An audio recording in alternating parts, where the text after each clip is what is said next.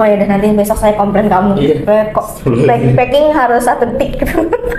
Memangnya kalau fasilitas seadanya bakal mengganggu sebuah perusahaan berjalan tidak lancar. boros bahan bakar terus kita nggak tahu kalau di jalan nanti siapa tahu motornya patah namanya dua ribu berat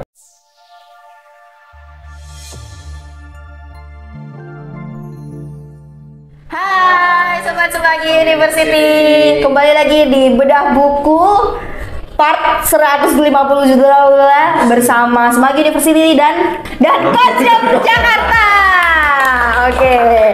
Nah hari ini saya bersama dua pujangga tampan kebanggaan Jakarta Pusat Mangga 2 Ini paling ganteng soal Mangga 2 ya guys.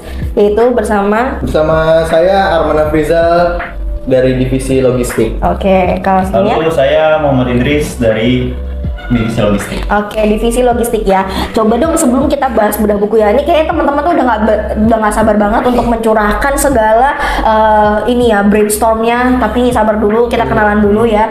Bisa nggak ceritain ke teman-teman di rumah apa sih yang dilakukan sama bidang logistik yang teman-teman kerjain di rumah? Eh di rumah, di sini gitu. logistik itu ini bu eh, tempat keluar masuknya barang Oke, keluar masuk barang apa aja yang kamu lakukan? biasanya kalau barang masuk barang datang itu harus dicek dulu. Oke, dicek sesuai dengan eh, PO-an sesuai dengan pesanan biasanya itu ada ada surat jalan bu. Surat jalan. Itu ada eh, nama-nama barangnya dan ada kuantitinya bu. Itu Oke. biasanya dicek dulu kuantitinya udah dicek kuantitinya. Dicek kualitasnya kualitasnya harus baik juga bu. Sebelum harus eh, sebelum masuk ke gudang. Oke, jadi eh, Mas Arman ini di bawah bertanggung jawab untuk memastikan barang yang masuk layak jual sebelum dia keluar ya. iya. Bu. Oke, kalau Mas Idris, apa sih yang kamu lakukan sebagai staf logistik selama ini? Kalau yang saya lakukan kan untuk saat ini eh, tanggung jawab saya packing. Jadi memastikan eh, pesanan pesanan itu sesuai juga, memastikan pertama checking juga Eh, dan juga pastikan barang ini terpacking dengan aman sampai tujuan sampai ke customer. Oke, Eh, ada nggak sih tips and trick nih dari Mas Arman dan Mas Idris? Tadi kan kalau Mas Arman lebih kepada tadi menerima barang masuk dan juga ngeluarin barang itu ya. Gimana caranya menghasilkan kualitas yang baik? Ya mungkin tadi Mas Arman bilang ya harus cek sesuai surat jalan tadi udah disebutin. Nah kalau versi Mas Idris nih untuk menghasilkan packingan yang terbaik apa sih tips ala kamu untuk bisa menghasilkan kualitas yang terbaik? Dari segi packingan, Iya. supaya aman kalau dari saya sih lebih kayak tahu juga nih jarak kirimnya kalau semisal jarak tempuhnya eh, tidak terlalu jauh ya kita juga ambil aman kayak eh, dilapisin beberapa kali bubble wrap supaya ketika diekspedisikan kita nggak tahu nih di ekspedisi itu terkadang Dibanting. aduh kita nggak tahu lah gimana situnya kurang lebih kita antisipasi hal itu ya tadi. Kalau jaraknya dekat ya feelingnya kita sebenarnya sih di sini Oh, sih. tetap main feeling ya? feeling sih Oke. sebenarnya. tergantung barangnya juga kalau Jadi- barangnya mudah pecah ya harus lebih lebih aman lagi. Jadi jangan underestimate posisi staf logistik ya. Ternyata bukan sesimpel asal bungkus, asal angkut, asal taruh. Iya. Ternyata ada seninya. Bahkan kamu harus ada s- sampai kayak harus dipikirin ini kira-kira kalau saya seperti ini dia bakal hancur gaya di jalan. Kayak Mas Arman kayak kalau nggak saya cek nanti gimana konsumen saya gitu ya. Ternyata sekompleks itu ya. Oke nah teman-teman logistik ini mau bahas buku yang berjudul sistem, Sistem. enterprise. Sistem enterprise enterprise Oke, sistem enterprise, konsep dan implementasi. Karya Mbak Hendra Wati. Berarti terbukti ya kalau teman-teman saya udah baca nih sebelum berbagi ke teman-teman.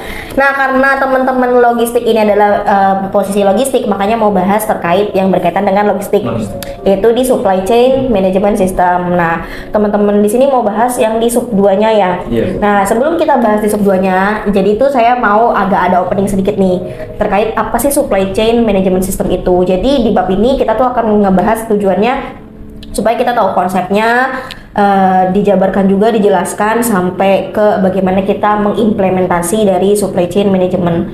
Kalau dalam buku ini dia disebut bahwa supply chain management adalah salah satu konsep manajemen yang banyak mendapat perhatian sejak akhir tahun 80-an. Nah, kalau di definisinya supply chain atau rantai pasok itu adalah rantai atau jaringan perusahaan yang bekerja sama untuk menghasilkan dan mengirimkan produk atau layanan kepada pelanggan sampai akhir. Jadi supply chain management ini bisa dipakai ke semua industri bisnis. Mulai dari iya, jadi kalau teman-teman tahu, kebetulan kan kita jualnya barang udah jadi. Iya. Ada juga kan perusahaan yang jual dari bahan mentah.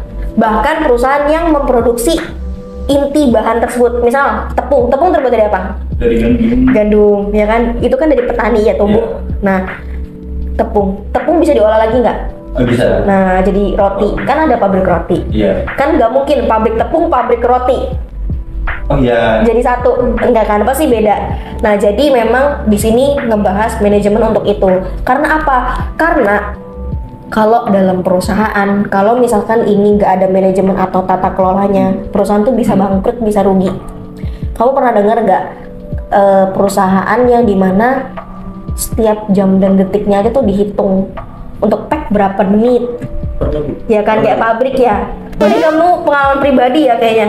Iya itu eh, per lewat lewat seper detik aja di Oh ya, dan nanti besok saya komplain kamu. Iya. Kok pack- packing harus satu detik. Ya? Tergantung barangnya ya. Nyerah gitu ya. Nah iya kayak gitu. Jadi sesimpel hal dan SM itu membahas tentang itu karena sesimpel hal itu nggak dilakukan itu bisa bikin bangkrut perusahaan. Oke, itu tadi ngomongin wak- jangka waktu. Ada juga terkait kuantitas produksi. Misal kita produksi bahan mentah, eh, ibarat kata kita adalah pabrik roti. Roti ada masa kalau luarsanya. Kalau misalkan jualannya 100 produksinya 500, itu 400 mau ke mana? Biaya. Nah, jadi SCM itu gambaran singkatnya adalah membahas tentang itu. Pokoknya sampai produk itu diterima ke konsumen. Kayak tadi eh, Mas Idris gitu ya, sama Mas Arman. Mas Arman yang terima. Kalau di proses Mas Arman nggak selesai, berarti di proses Idris juga nggak selesai. Ya nggak? Karena produk yang udah dibungkus Mas Idris akhirnya sampai ke konsumen nggak 100% sempurna gitu jadi SM itu membahas tentang itu gitu ya nah Mas Arman dan Mas Idris ini mau bahas terkait poin poin 16.2 Bu. Judulnya apa? Judulnya itu adalah pendorong driver dari SCM. oke kira-kira di pendorong dari SCM itu bahas terkait apa sih Mas Eh, jadi ada eh, empat pendorong dalam SCM. Eh, yang pertama itu ada fasilitas, informasi, inventory atau persediaan, dan yang terakhir itu ada transportasi. kok ada lima Mas Inventory atau persediaan? oh lah Iya, atau- oke oh iya atau ya Iya. ngetes aja sih Mas oke apa dulu? Next. Nah, oke ada empat poin. Bisa diceritain nggak kenapa empat poin ini menjadi pendorong di SCM itu terjadi? Karena kalau eh, semisal yang satunya, semisal fasilitas, eh, fasilitas itu adalah tempat di jaringan rantai pasokan yang ketika eh, produk sedang dalam produksi itu disimpan atau dikirim bu. Itu terdapat dua jenis fasilitas utama di SCM yaitu eh, lokasi produksi atau pabrik dan yang kedua itu ada fasilitas utama. Eh, yang kedua itu ada tempat penyimpanan bu Oke. atau gudang. Jadi tempat produksi sama tempat penyimpanan. Iya. Oke. Terus yang kedua itu ada dari eh, informasi. Informasi itu terdiri atas data, jadi dianalisis dulu eh, untuk ke suppliernya dianalisis eh, mengenai fasilitas, inventaris, transportasi dan pelanggan di di seluruh rantai pasokan. Mm-mm. Terus yang ketiga itu ada inventory. Inventory itu eh, adalah bahan baku atau barang dalam proses dan barang jadi milik perusahaan. Terus yang keempat itu ada transportasi. Transportasi eh, pemindahan produk di antara berbagai tahap dalam rantai pasokan. Jenis transportasi juga eh, berguna berguna banget Bu untuk sebuah perusahaan. Untuk keefisienan keefisiensian dalam sebuah gudang. Oke, tadi terakhir udah transportasi, ya. Iya. Oke. Nah tadi Mas Arman udah nyebutin nih empat poin pendorong SCM bisa eh, maksimal gitu ya, dan makanannya juga. Apakah Mas Idris mau bahas hal yang sama atau bahas poin lain? Sebenarnya sih ya. Oke. Juga sama. Mm-mm. Bab 16.2. Oke, Iya. sekarang kita coba tes nih teman-teman. Apakah Mas Idris dan Mas Arman betul-betul paham sama apa yang disampaikan?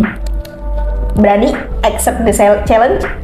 Berani. Berani dong, di luar kepala harusnya ya. Oke, tadi pendorong itu kan di SCM, pendorong tuh artinya apa sih? Eh, Kita bedah satu-satu dulu. Ini bu support itu Support, oke. Support itu maknanya apa? itu ngedukung itu. Oke, pendukung ya. Jadi pendorong. Tadi saya takutnya teman-teman ngira pendorong driver berarti pengemudi dong. gitu ya, bukan ya. Tapi bagaimana dia support? Mensupport SCM ini bisa, Bisa berhasil. Tadi ada empat poin. Hmm. Nah, saya mau Mas Idris sama Mas Arman sebutin masing-masing contohnya. Mas Arman dari fasilitas sama informasi, Mas Idris dari inventory sama transportasi. Contoh, fasilitas yang seperti apa sih yang harus dimiliki sebuah perusahaan supaya bisa mensupport SCM supaya dia bisa berjalan? Kamu contohin dulu yang di Kocok deh. Fasilitas kayak apa? Fasilitas. logistik kamu. sudah pasti gudang yang memadai Gudang yang memadai. Kalau gudang yang memadai itu maknanya seperti apa, Mas? maknanya adalah eh, tidak terlalu sempit Hmm. terus ada tempat penyimpanan untuk barang-barang yang yang eh, agak-agak berat Oke. karena barang berat itu eh, semisal ditaruh di ubin nanti kan takutnya ubinnya pecah bu Yes. karena kalau pecah kan pasti luka Oke, saya coba tanya ke Mas Arman, kenapa fasilitas itu menjadi poin penting yang harus disediakan secara baik? Memangnya kalau fasilitas seadanya bakal mengganggu sebuah perusahaan berjalan tidak lancar? Eh, iya bu karena eh, di perusahaan itu biasanya ada metode metodenya itu ada FIFO, FEVO dan OVO, first in first out first first first in first out, FIFO LIFO, last in. Ah, last in first out. Oke. Nah, sedangkan eh, metode yang kita terapin itu adalah first in first out. Yes. Kenapa? Jadi kalau gudang-gudang memadai, kita eh, biasanya menata satu jenis barang yang eh, semisal dia masuk di awal, dia harus keluar di terakhir, Bu. Oke, tadi kan saya minta, minta Mas Arman dua, Mas Idris dua ya. Saya minta contohnya masing-masing satu deh, Mas Idris. Fasilitas untuk pendorong SCM, kasih contoh. Kalau kayak saya berpendapat, berpendapat bahwa kayak perusahaan yang punya usaha gitu, punya usaha. Ya tadi di sini kan ada disebutin ada dua, ada dua hal yang utama Hmm. fasilitasnya satu eh, tempat untuk produksi dan yang kedua tempat untuk Menyimpan. penyimpanan. Tempat produksi kan itu kayak kita bisa bilang pabrik tempat produksi dan tempat penyimpanan. Kita ngomongin fasilitasnya dulu. Ternak lele saya. Fasilitasnya kolam pertama. Oke, kolamnya harus kayak gimana Pak supaya lele saya nggak mati, lele saya berkembang dengan baik. Heeh. Ya bayangkan aja kolam berbentuk love gitu. Ya, kalau Kualitasnya kolam- gitu ya. Kolam gitu tadi eh, ternak lele. Iya, ternak lele. Eh, kolam yang besar. Oke, oh, kolam Nah, besar. Nggak kecil loh. Karena banyak nanti eh, yang kita tak yang kita ternak kan ngomongin sedikit dong banyak Oke. yang kita jual. Betul. Fasilitas apa lagi Pak Arman kira-kira? Masa kolam doang? Fasilitas air yang baik, Bu. Oke, air yang baik. Airnya baik tuh dia nggak nakal atau gimana? Air yang baik biasanya eh, air itu tapi lele kan badung, Bu. Maksudnya dia Oke, pertanyaan saya gini susah ya karena teman-teman nggak pernah ternak lele. Oke, kocop deh nih. Nih, bayang misalkan kamu konsultannya ya, konsultan bisnis saya. Iya. Ya, ini ceritanya kocopnya punya saya. Pak, saya tuh punya kocop nih ya. Saya jualan ini ya kayak kamu biasa. Fasilitas tuh kan tadi ada bilang pabrik sama tempat penyimpanan. Kebetulan saya tuh nggak produksi. Jadi saya punya tempat penyimpanan. Kira-kira tempat penyimpanan apa yang seperti yang baik? Tadi Mas Arwan udah bilang, oh barang-barang ibu gede ya. Berarti kalau barang-barang ibu gede, ibu harus kasih space yang ada palet kuatnya. Nah itu salah satu contoh bagaimana kamu support fasilitas. Yang kedua, ibu pesenan sehari berapa? Seribu. Seribu areal packingnya, let's say cuma tiga kali tiga. Bisa nggak? Nggak bisa, Bu. nggak bisa. Nah kayak gitu. Jadi itu contohnya untuk bagaimana eh, apa tadi kan udah dikasih ta- tahu poinnya fasilitas. Oh gitu. Nah sekarang contoh yang kedua informasi terdiri dari data analisis mengenai fasilitas. Kena, eh, contohnya coba.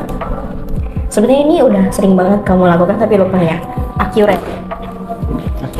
Ya kan accurate itu kan memuat banyak data. Iya. bener nggak? Data itu biasanya kamu pakai buat apa Untuk melihat stok barang stok barang good emang kenapa kamu harus ngeliat stok barang biar nggak sia-sia, Bu. Sinkron sih ya, balance antara data dan fisik. biar nggak sia-sia waktunya biar balance antara oke nih harus belajar lagi Mas Arman ya. Oke. Betul banget. Karena kenapa? Contoh, kamu kan kerja sama sales. Ya, Sales bilang ada, kamu bilang ada. nggak ada. Ada. Kadang pernah nggak? Nah, jadi makanya kenapa informasi itu penting dalam SCM.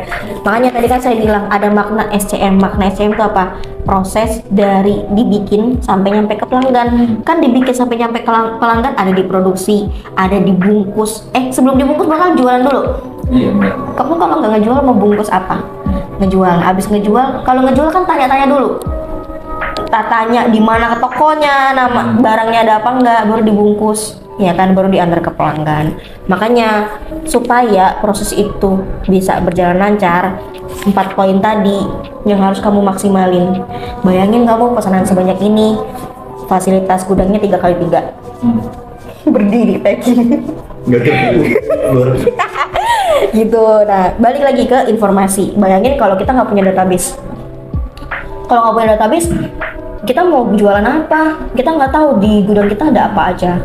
Gitu. Kita nggak tahu akan ada yang mencuri dan lain-lain. Gitu. Nah sekarang next ke contoh berikutnya. Inventory atau persediaan bahan baku barang. Seperti apa harus kamu penuhinya? Kenapa ini harus menjadi poin penting yang dipenuhi dalam SCM Karena untuk dalam case sehari-hari. eh, melakukan penjualan barang itu harus ada barang. Sip, good, betul. Mau jualan apa kalau nggak ada barangnya? Iya. Bitcoin gitu. Eh, kalau menurut Mas Idris, Yang kedua mungkin ya ada alur prosesnya sih Bu. ya dari awal kita mau ngejual sampai terjual gitu kan tadi yang disebutin eh, langkah-langkahnya gitu mulai ngejual betul, terus juga mulai eh, dari ambil pesanan apa Iya. bungkus sampai sampai- betul. Karena kalau kita mau bisnis, mau jualan, apa yang mau dijual kalau kamu nggak punya persediaan barang, gitu ya.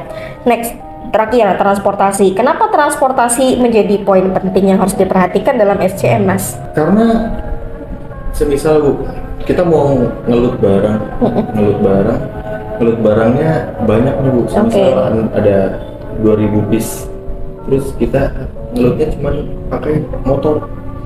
Itu berapa berapa? Nggak ada barang yang ngantar kamu ya, Iya. bukan kamu yang ngantar barang. Iya. Yang pertama boros ini bahan bakar. Oke. Boros bahan bakar terus kita nggak tahu kalau di jalan nanti siapa tahu motornya patah namanya dua ribu berat. Oke. 2000 berat. Yang ketiga itu mustahil bu. Oke, good. Jadi makanya transportasi harus disesuaikan dengan bagaimana lotnya di sana Iya. ya. Iya kalau untuk transportasi itu penting sih Bu, sebenarnya sangat penting juga sih sebenarnya untuk perusahaan gitu. Tadi yang dibilang Mas Arman, kalau kita punya banyak barang yang harus diantar gitu ke pelanggan, itu kan ya kalau satu dua mungkin Betul. bisa. Juga jaraknya juga kan dekat oke lah jalan.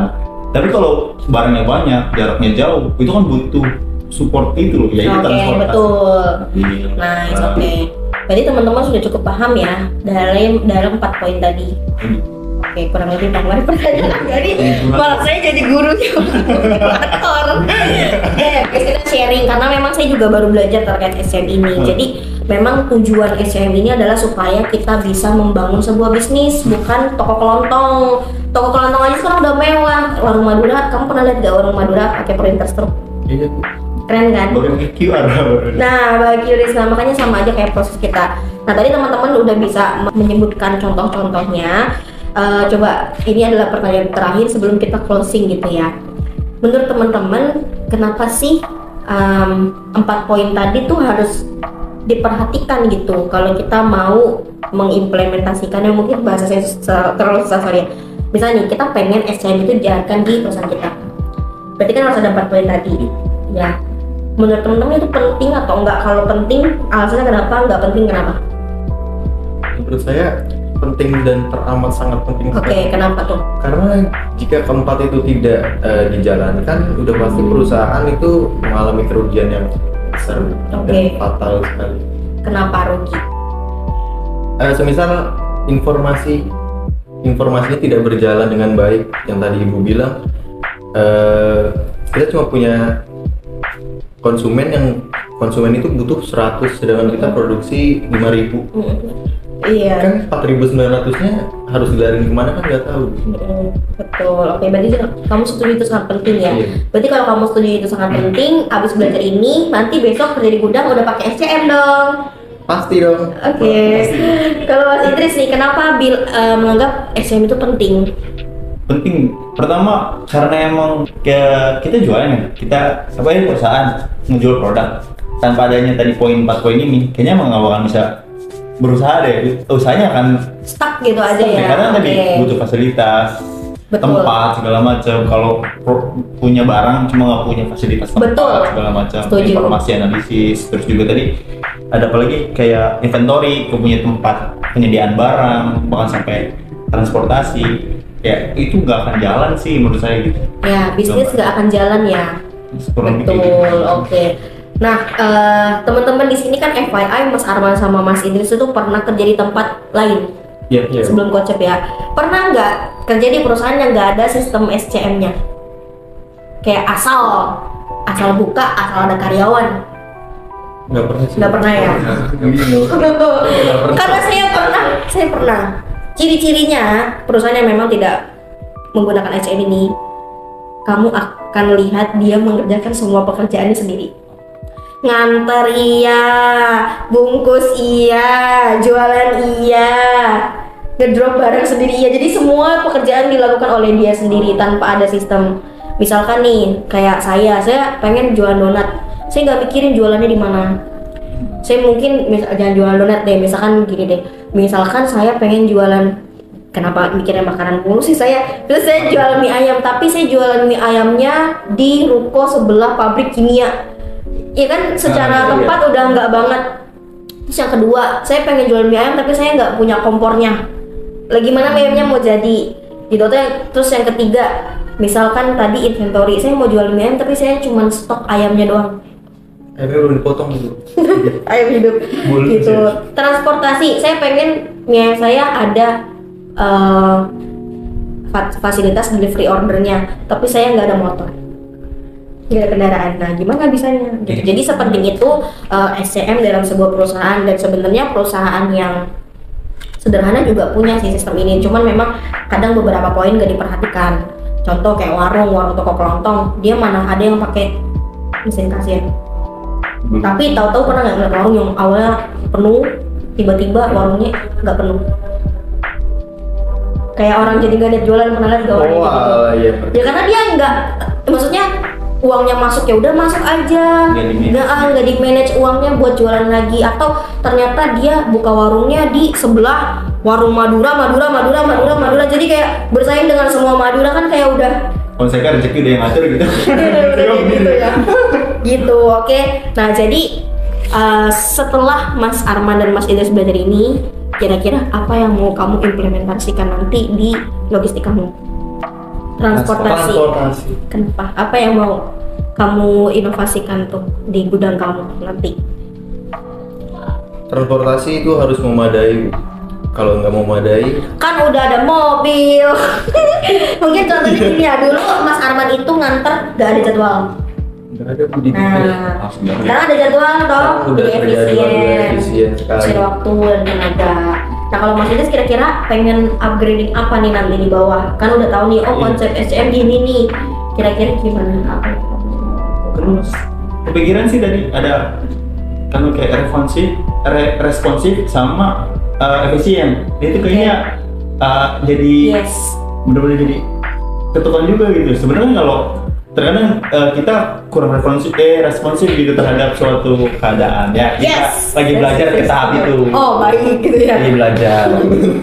Ya betul banget. Karena logistik ini ya saya bukan membuka koreng orang ya guys. Ini logistik kita itu saking sibuknya itu susah banget untuk responsif sama keadaan sekitar. Iya, betul. bener gak makanya kadang ada luar biasa. makanya kadang ada beberapa kejadian yang nggak kamu inginkan benar. Batal kirim salah kirim. Saking kurang responsif gitu ya. Harusnya dengan poin-poin tadi teman-teman bisa lebih maksimal lagi kerjanya gitu ya. Oke sekian dari pembahasan bedah buku kita. Cukup panjang ya karena memang walaupun poinnya sedikit ini benar-benar sedikit banget teman-teman yang dibaca teman-teman tadi.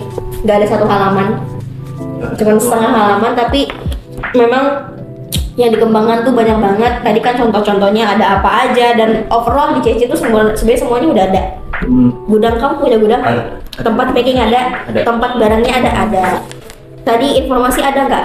Ada Ada. accurate ada. Terus inventory-nya ada nggak? Punya stok barang nggak? Ada. Punya transportasi buat antar? Ada semuanya ada. Makanya kita bisa menjalankan bisnis dengan baik. Bayangkan kalau kita nggak punya transportasi disuruh pakai bos kamu, udah antar lah pakai buruk. Gak mau tahu saya. Nah itu hati-hati. Dan menurut saya ya dengan kita tahu ini teman-teman bisa melihat lagi nih tempat teman-teman bekerja atau kalau teman-teman yang punya bisnis di rumah kira-kira udah memuat ini belum? Karena memang SCM ini benar-benar salah satu konsep yang bisa kita pakai untuk mengembangkan bisnis kita lebih besar lagi. Gitu. Mungkin Mas Idris sama Mas Arman punya pesan dan pesan lah pesan setelah belajar ini untuk teman-teman di rumah. Karena yang nonton pasti kan teman-teman yang berkecimpung di bidang logistik juga toh. Mungkin pesan Pesan dari saya, jika ingin membuka suatu usaha harus banget perhatikan konsep SCM ini. Karena ini pasti berguna sekali dan eh, sudah pasti kalau konsep SCM ini diterapkan dan bisa akan apa panjang jangka waktunya. Oke, apa nih yang jangka waktunya panjang? Hutangnya, apa? Penderitaannya. Perusahaannya Oke, jadi sustain ya, sustain. Aduh bahasa saya sorry. Jadi, jadi perusahaannya bisa gak cuman yang sebentar, Iya. ya bisa buka terus sampai ke tujuh turunan anak cucu bisa ngerasain bisnisnya kita. Kalau Mas Idris, Kalau dari sih ini kan ya kalau memang yang nonton satu divisi sama saya logistik gitu loh. Paling ini kayak mau pesan juga kayak eh, jangan pernah ngerasa puas dan Oke. merasa pernah cukup terus improve diri gitu loh supaya apa ya lebih efisiennya dalam bekerja gitu lebih Benar. buat nyaman bekerja nyaman dan kerja cerdas ya.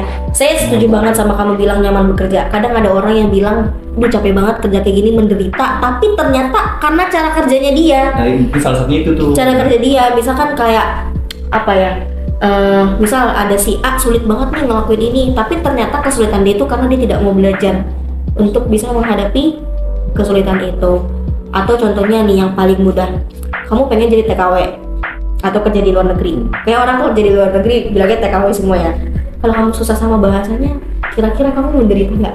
menderita sekali Nah, Tahu. tapi salah siapa nggak mau belajar bahasa? Itu makanya saya setuju banget apa kata Mas Idris, jangan pernah merasa puas gitu ya, karena ternyata bidang yang kita geluti itu banyak banget yang ternyata kita belum tahu.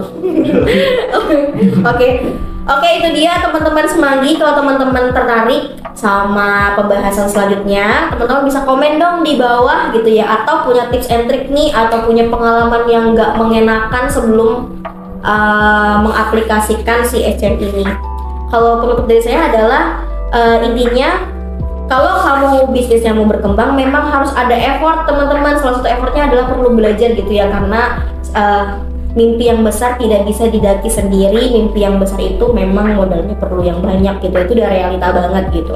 Itu modal yang paling powerful adalah dengan bagaimana kita bisa mempelajari medan kita sendiri gitu. Oke sampai jumpa lagi di video berikutnya. Sepi banget kalau cowok dadah